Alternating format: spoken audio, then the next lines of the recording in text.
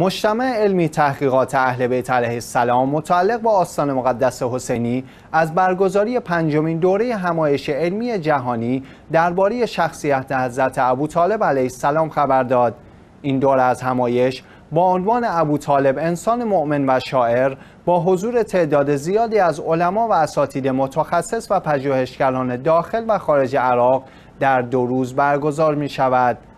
در افتتاحیه مراسم این همایش هیئتی رسمی از آستان متحر علوی متشکل از نمایندگان نمایندگان بخش‌های امور دینی، فکری، رسانه‌ای و روابط عمومی شرکت کردند. تعداد تحقیقات و پژوهش‌های رسیده به دبیرخانه این همایش جهانی به 55 پژوهش علمی رسیده و نقطه مرکز این پژوهش‌ها بر زندگی و سیره حضرت ابوطالب علیه السلام است.